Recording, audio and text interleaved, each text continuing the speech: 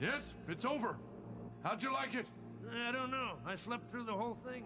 Well, you didn't miss much.